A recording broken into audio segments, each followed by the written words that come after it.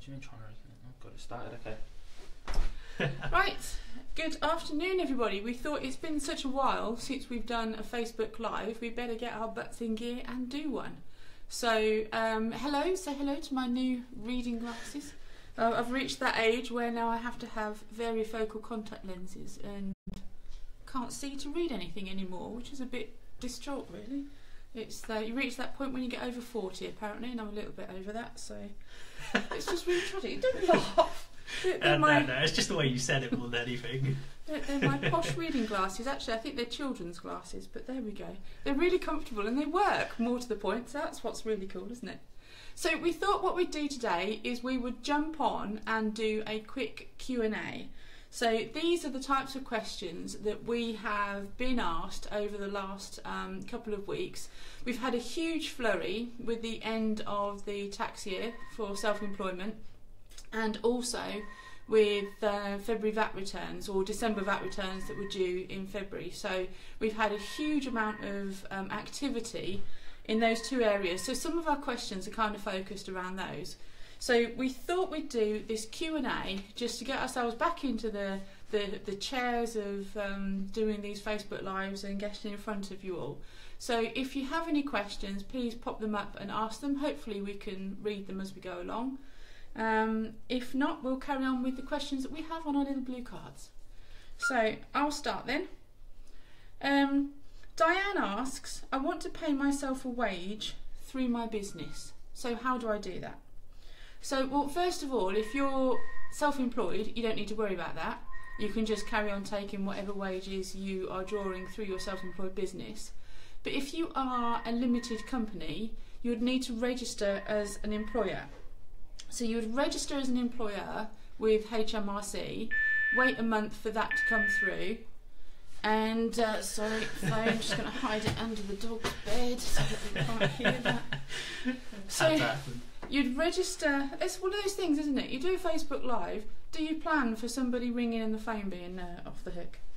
So you register as an employer, and you get um, the letter back from HMRC that confirms your payroll details and your employer's reference. You need to run a basic payroll, weekly or monthly. Monthly would be a lot easier, and you don't have to worry about it too much.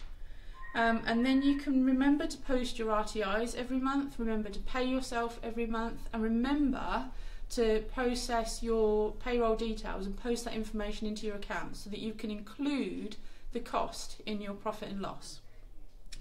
Now, if you're a, a small person, a small employer running a very small business, you can pay yourself £5,876 per year, that's £113 a week, without running a payroll at all, without having to register as an employer. But if you want to go over that, you do have to register as an employer. You can pay yourself 8164 a year, which is a basic director's payroll. You wouldn't pay any national insurance on that amount, but you would still get the national insurance credit, so you still get your entitlement to state pension and benefits. The difference between the 8164 and the 5876 if you're a limited company is an additional £2,288 that you can put through your business accounts as a tax deductible expense. So it's well worth doing that and it reduces your corporation tax. So that's the first question how to pay myself a wage through my business, how do I go about doing it? If you get stuck, obviously go and ask an accountant. Right, Harry's going to answer the next I'd one. I'm going to go through this Hi Amanda, did see your message, but didn't want to interrupt these.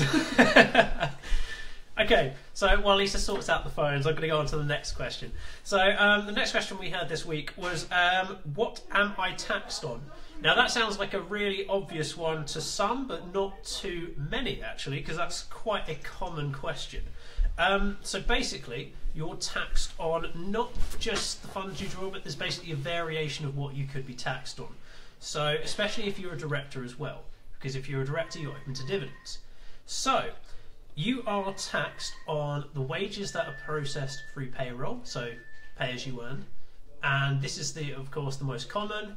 But also, if you're a director, you're taxed on the dividends you physically draw out as well. Now, Hello. again, it's interrupted by the dog. You're taxed on the dividends you draw out as well. But dividend tax works slightly differently to my uh, to PAYE, and at the moment, well, when we move on to making tax digital, eventually this will become a bit more frequent. But for now, it's a yearly payment to pay your dividends, and dividend tax.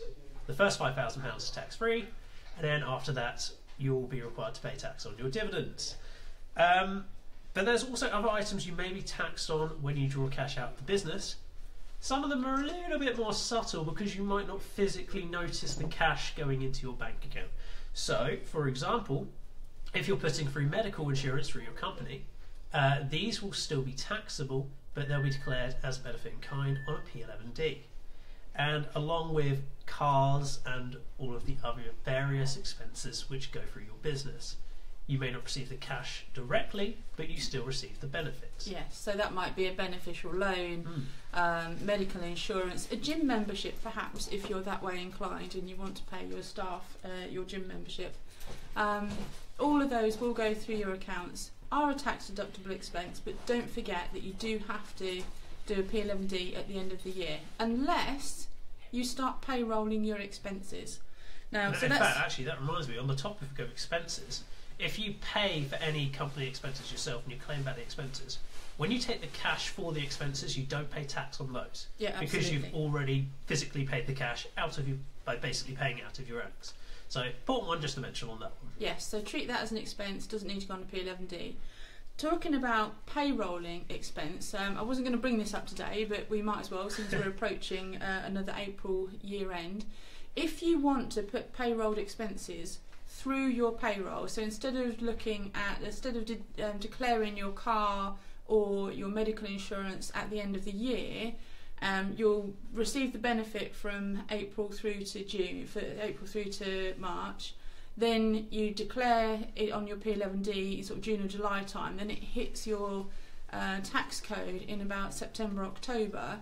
What you could do is put that benefit through your payroll from the April, but you do have to register to payroll your benefits from the 1st of April or from the 5th or 6th of April onwards. So if you're going to do your um, benefits through payroll, you need to think about that now in time for the next tax year. So that's something that we're going to be talking to all our clients about because it just does save all the faff and pomp with a P11D, um, which is uh, you know a pain in the bum to get done at the end of the year, and it, it shocks the employee. So I had a query from um, somebody this week who had.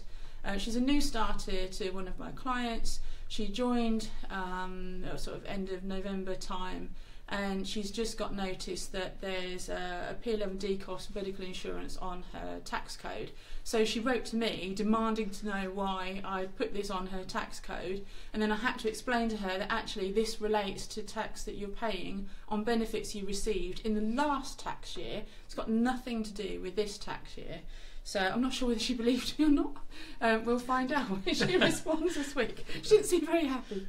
So um, yes that you can get away from all of that if you actually put it through your, your payroll and then they'll be taxed in the month they receive the benefit um, instead of 18 months later which can be uh, a pain in the bum.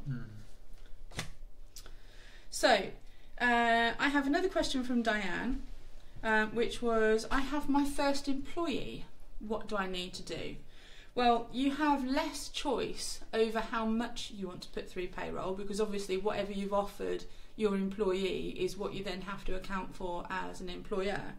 But what you do need to do is register as an employer if you're not registered already. Um, you need to run your payroll for your employee weekly or monthly, depending on um, however you've agreed payment terms with your employee. Don't be late, so make sure that you actually get everything in in time. You need to make sure the payment is run or the payroll is run and the RTI is posted on or before the day you actually pay your employee. So same day is fine, but don't post your RTIs the day after you pay your employees because then you'll get fined for late filing. HMRC wants to know before you pay your staff.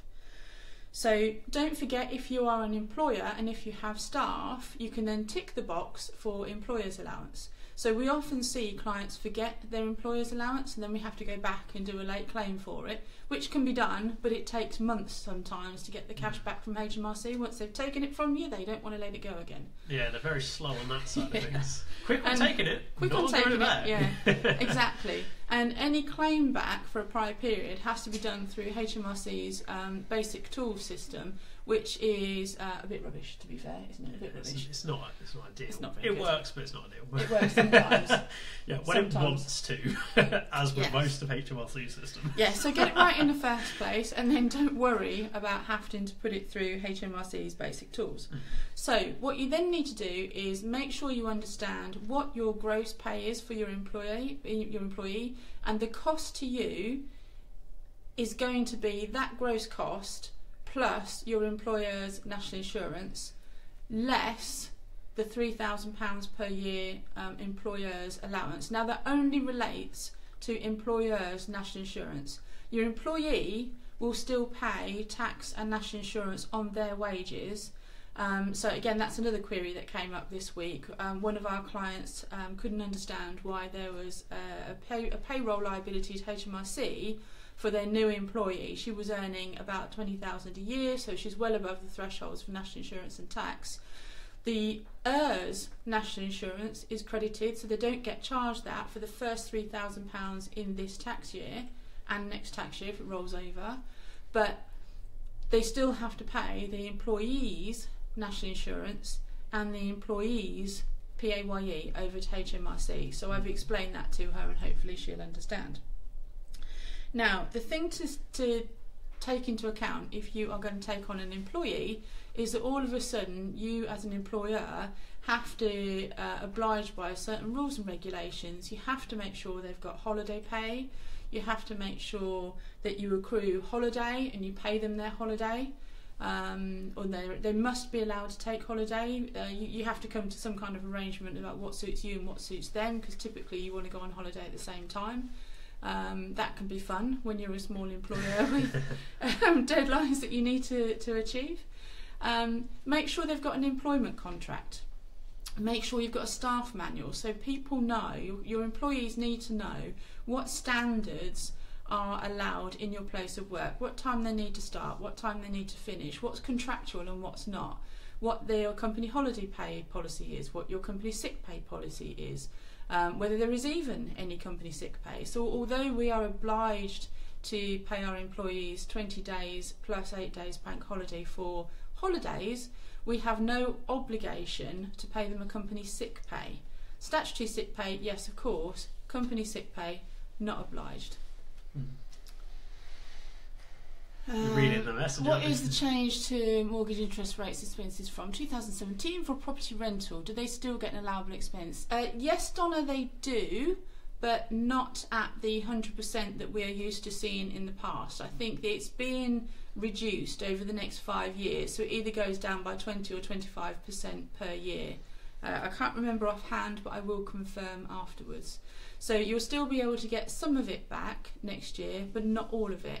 But if you are renting out a property, don't forget to include all of the expense costs of that property and the mileage cost of you travelling to and from that property to do rent reviews, um, any agency or advertising or any direct costs that relate to that particular property. Now, um, just going back to what else to do when you've got your first employee, if you do get stuck, this is one of those things that it's too important to get wrong. So if you do get stuck, see a HR specialist for the contracts and for the legal side of things. Make sure you're covered and you're airtight. Um, and also talk to an accountant about payroll. So you can get white labelled outsourced payroll for a couple of pounds a month in some instances. So it, it's well worth doing it. Don't struggle through it on your own if you're not able to. Building on from new employees, uh, we actually got another query this week, um, which is basically when you get a new starter, what happens if the employee doesn't provide a P45? Now, um, as Which Lisa, really common, isn't it it? is really common, yeah. But um, as Lisa mentioned, with employees starting, there's various documentation you'll need to collect from your employee, such as passport copies, their bank details, obviously, funny if not, and of course a basically it's either a P45 or a form which was formerly called the P46, which Showing is the age? starter. Yeah, that's showing definitely. Which is the starter declaration checklist, and basically this is a form generated from HMRC. If they can't provide a P45 from their most recent employment, then we should be collecting the starter checklist information Yes, instead. definitely. And what this means is it determines that they're on the correct tax code. So it's it's a very important form. It's basically a lot of employees like to give you their bank details and then they're a bit slower on providing the other forms. But it's really important for payroll because either that they, they either end up on the wrong tax code, which they obviously don't like. So it basically determines whether or not they should be on a basic rate tax code, a non-cumulative tax code, or a cumulative tax code. So it's really useful from that perspective. It works in a similar way as a P45. Basically, Yeah. when a P45 is not present, it gives the information that HMRC needs in order to then update their records going forward. Yeah. Now, a common issue we see with new new starters on payroll is the new starter comes in. They might have a secondary job, um, or or they might have finished that secondary job and come into working with one of our clients, and then they tell us they're on the wrong tax code. Um, well. We, as the employer or as the employer's payroll company, have to put you on the tax code that either is on your P45 or in accordance with the data on the new starter form or um, what HMRC tell us. So if you think you're on the wrong tax code, the person to talk to is advise your employer by all means, do that definitely. But the person to talk to is HMRC. So give them a ring, talk to somebody on the self assessment helpline. They do look at these issues really, really quickly, update their systems, that pops through to the employer, and then the employer gets notified, usually in time for the next pay run. So you might be able to get an advance perhaps if you're on a, a substantially wrong tax code you might find that actually you might want to wait until the next pay run but normally it's in there for the next pay run and then you get a nice little um, tax rebate. So we had that very issue um, happen to one of our clients employees this week. Um, she'd been working for the entire tax year um, for our employer uh, for our client. She started the tax year with two jobs. So she was on basic rate, non-cumulative, so she was paying tax on all of her earnings for the entire year. Part-timer. She stopped doing her other part-time job and carried on with this part-time job. Um, mentioned that you know it's Christmas and things are a little bit tight. Um, unbeknownst to her, HMRC has completed all of their end of year returns and then they sent us a tax code update. So actually, what she received in her um, early February payroll was a thousand pounds tax rebate. So she was super chuffed. So, and after a little bit of investigation, we were able to tell her that yeah, actually that is right. You can keep it, and uh, it's all yours. So she was super pleased. Yeah, just showing them to pay it in the first place, though. Well, yes. Well, the thing is, she'd, she'd managed without it for the whole of the um, the time that she's been employed with our, our client, thinking that she was on the right tax code and that this is just what she was earning. And uh, turns out she was inadvertently saving, so she was super chuffed, and she's paid off her credit card bill. So she's a very happy lady. Right, so I had a question from Pete yesterday who wanted to know when do I need to think about registering for VAT? So, um, you know, the excitement just swells, doesn't it? It's uh, amazing. So, HMRC rules are that you need to start registering for VAT when your VATable sales exceed or are likely to exceed 85,000 in the next 30 days. Now, that's quite not. Amanda asks, "Can I have one of those rebates?" I think we'd all like one, um, but we have to have overpaid tax in the first place. So, uh, unfortunately, that doesn't apply to me. But we can look and see whether it applies to you. Um, so, Pete wants to know when do I need to think about registering for VAT? Um, when your VATable sales goes over eighty-five thousand pounds per year. Now, he sells uh, 80% of his business is in the UK, 77 or maybe 75 to 80% of his business is in the UK, but 20 to 25% of his business is overseas um, in the States. So he has customers that are in uh, America. Um, America, um, Hong Kong, Asia, China, uh, Australia, New Zealand, all outside Europe, outside the UK, all considered to be rest of world. Rest of world is excluded, it's out of scope of VAT, so it's not even considered for purposes of VAT. So, because his VATable sales to the UK are well under the VAT threshold, he's fine. So, he needs to keep an eye on his VATable sales to the UK. But if he starts to exceed um, those in the UK, he needs to think about registering for VAT. If he sells in the US, he doesn't need to worry about VAT. So, if he only sold in the US, he might want to voluntarily register for VAT so that he could recover the VAT only costs he's incurring, but he wouldn't have to pay any output tax or tax on his sales if all of his sales were rest of world and out of the scope of VAT. So that then gives rise to the question when do I need to think about it from a UK point of view? Mm. So, if you do need to think about it, um, we, we have two clients in, in two um, different types of business. So, so Pete's in a, a consultancy business, and his typical UK businesses, his typical UK business customers, are all going to be businesses. They're all going to be VAT registered. So, when he starts to apply VAT to his sales, it's not really a big deal because all of his customers will be VAT registered. It's sales output VAT for him it's purchase input VAT for them, so they'll just be able to recover it. We have another client who runs a small cafe, and his customers are all consumers, so they're all private individuals. They can't recover the VAT. So now he has a really big question. Does he deliberately keep his business below the, threat, the VAT threshold so that he stays around about the 80 to 85k mark without going over?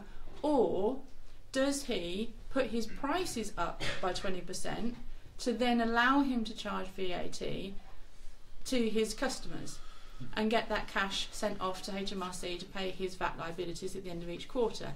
Now, the challenge for our, our cafe client is that if his customers can't tolerate a 20% increase and instead of going to Bob's Calf, they're going to go to Wendy's Calf, this could be a massive detriment to him and could really cause a problem for his business. Whereas our consultant client doesn't matter to him, he can register whenever it suits him. So that's a, a real challenge. The question for a business to consumer client is who is going to absorb the cost of that VAT. So suddenly you think you've turned over £85,000 a year. If you can't turn that cost over and push that cost onto your clients, all of a sudden you actually turned over a £70,833 a year business and the difference of 14,200 is owed to HMRC. So that's a really nasty shock. Now, I have seen um, quite a few blog posts, uh, articles debating over whether HMRC are going to increase or reduce the VAT threshold.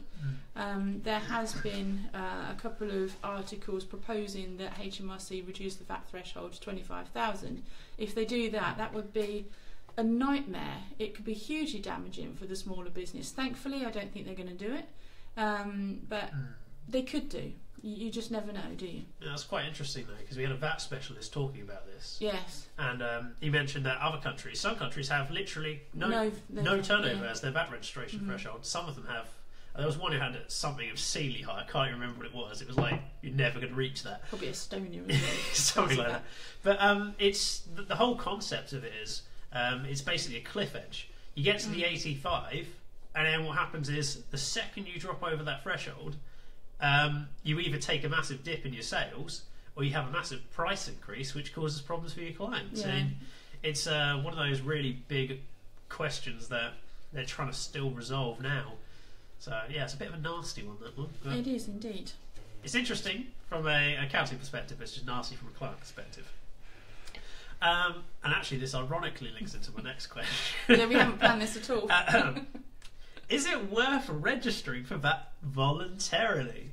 Now, that's not normally a question you'd hear people asking all the time, but um, actually, sometimes voluntarily registering for VAT can actually be beneficial. But um, the main things to think about is obviously who your client base are and whether or not your actual purchases will have VAT inclusive elements on them. Um, if you're trading between business to business, then becoming VAT registered won't impact your business customers too dramatically because they're probably used to paying VAT anyway. If your actual end customer is a consumer, then a 20% increase on price suddenly becomes quite a dramatic increase. So it's worth considering that. And as well as this, it's also worth considering how many of your suppliers are VATable services. Uh, if they're all outside of the UK and outside of Europe and you have any VAT to pay anyway, then you're not actually going to benefit from any recovery. So it's just worth considering these to make sure that, of course, you're not actually losing out on money unnecessarily. But from another perspective, being VAT registered suddenly makes you look more professional and more distinguished as a business, say if you're a consultant. Um, basically, being VAT registered disguises your size a little bit. So you could be turning over less than £85,000. But if you're dealing with a company that's, I don't know, say a multinational company, quite large, quite significant, and you are VAT registered, they may not necessarily know that. So they may think you're bigger and more reputable as a as basically a knock-on effect. So it's just worth considering some of these things. Mm, and we do see that quite a lot. It's um, small customer clients just starting off that are limited companies will often go VAT registered and limited right from the get go um, because it makes them look and feel that little bit more professional, that little bit more polished, a little bit larger, and it. The, the limited liability aspect makes them feel like they've got a little more security, Yeah, even though they've then got to run payroll and you know publish statutory accounts. but so just be careful, don't miss any. VAT payments. no, Because if you miss any VAT payments, all of a sudden the benefit wears off. yes, So, yeah, massively and immediately.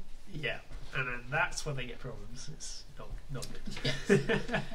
Okay, so uh, another question we had. Um, this is probably in the last month or so, um, but it's one we see regularly in in various um, small business groups. I sell digital courses, so must I register for VAT? Well, yes.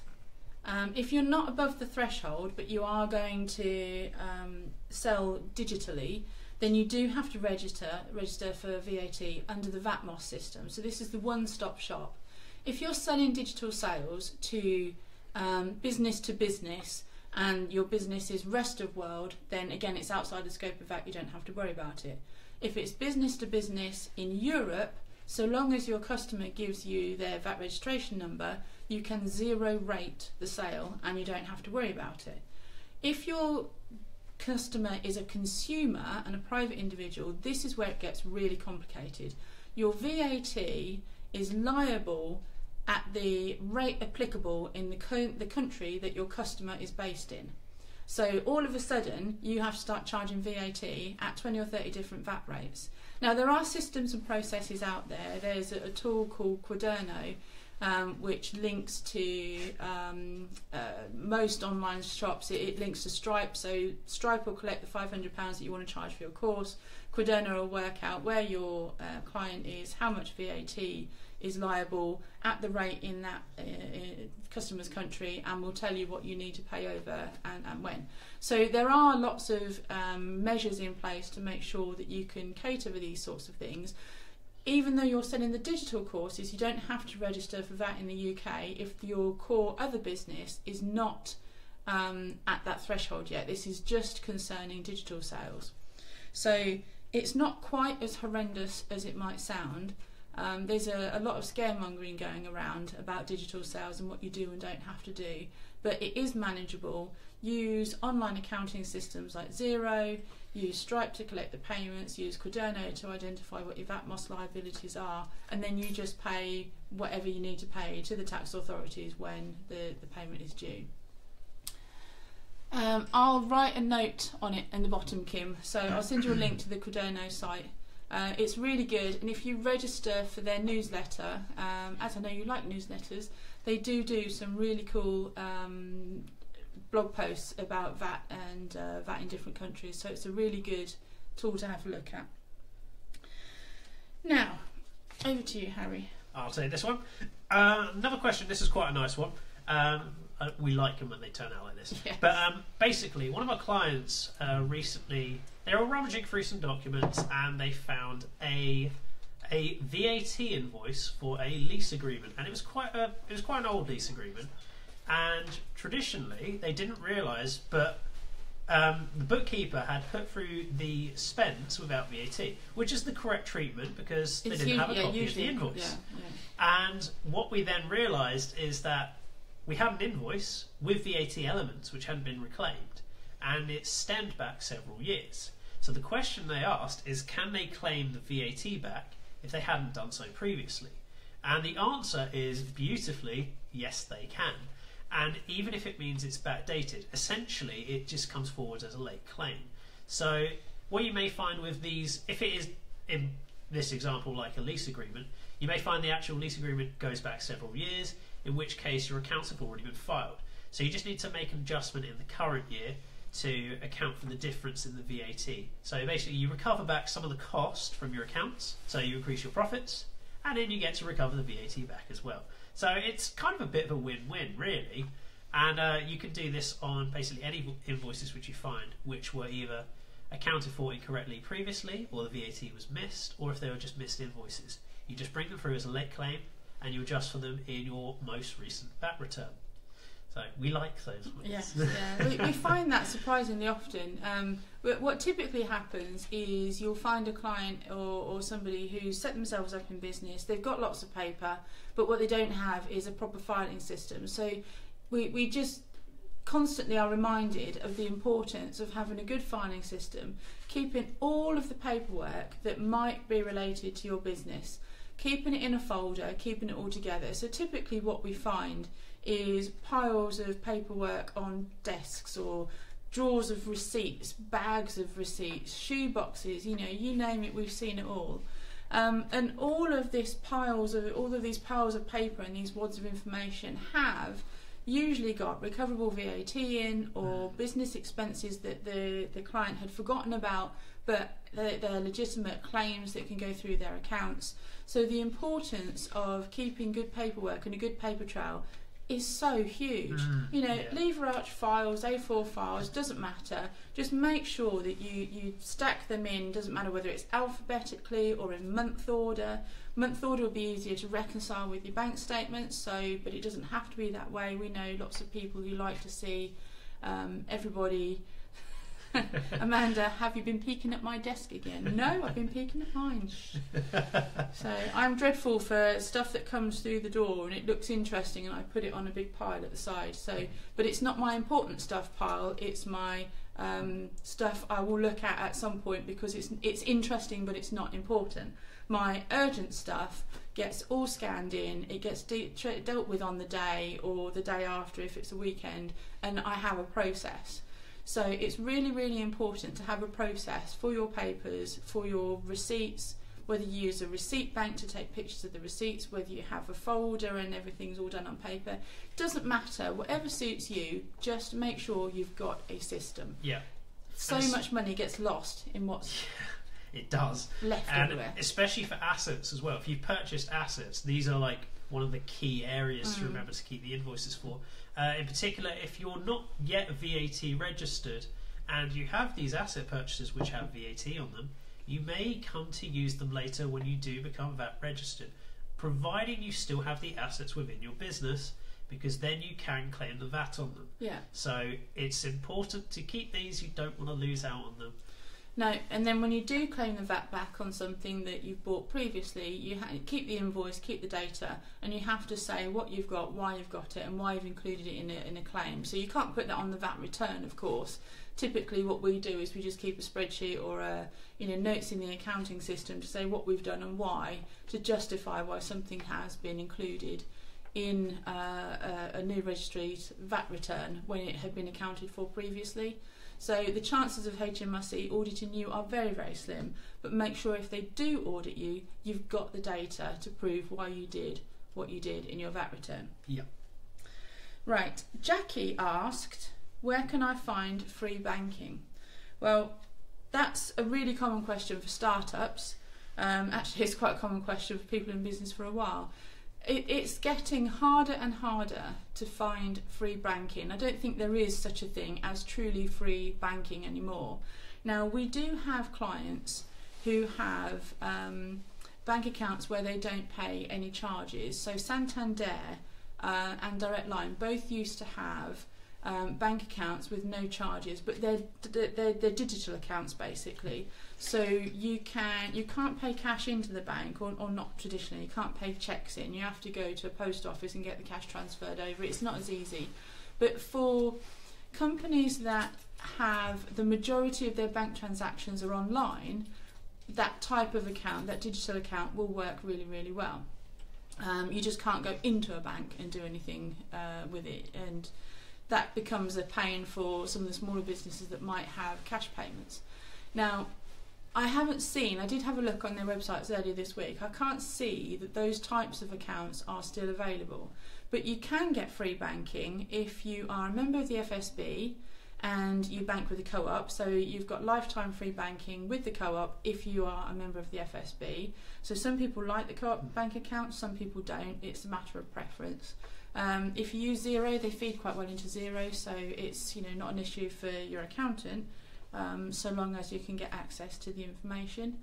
Um, any bank will have um, a switch period where if they're trying to convert you from another bank, you'll have six to 12 months interest free banking, some longer. And other banks have um, banking free periods for uh, or charge free periods for new starters and you know people who are just getting going, charities, CICs, that kind of thing, will also have a, an element of free banking. Sorry, that's the dog just getting himself comfortable in his beanbag. Um, but nobody really has truly free banking going in the longer term. Now, what I would say is sometimes more importantly than free banking is the ability to have a bank that you trust, that is convenient, um, where the charges are competitive and not too high, um, where they've got the facility for an overdraft if you want one.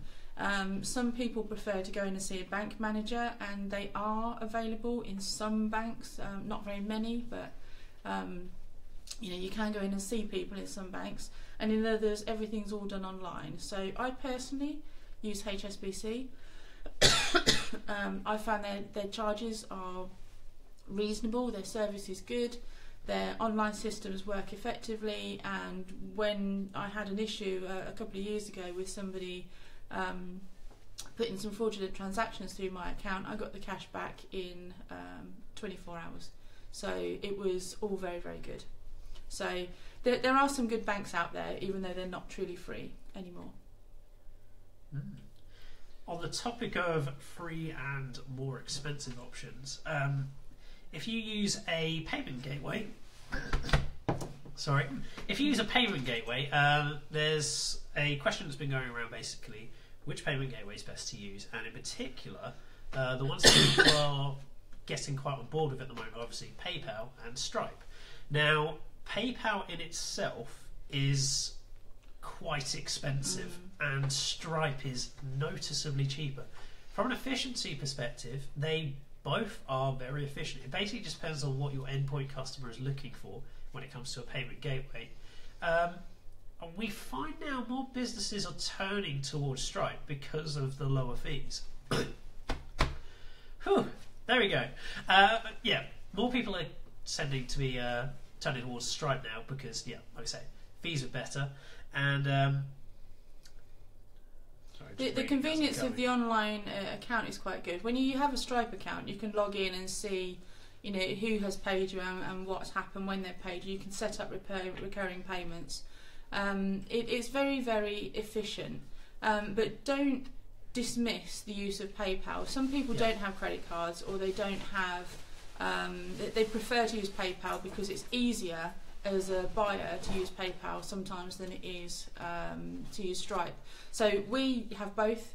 Um, I try and encourage people to use Stripe or to pay by Bacs because obviously Bacs has even less charges or no charges. Um, but if you're going to have the payment gateways there, you might as well have both and give your client every opportunity to pay you. So the worst thing is to have somebody who has a PayPal account, you won't offer it because your fees are really high. Well, you waste more than that in chasing them and yeah, calling them exactly. and trying to get payment by card or by Bacs or, or whatever. Just make it as easy as possible for clients to pay you.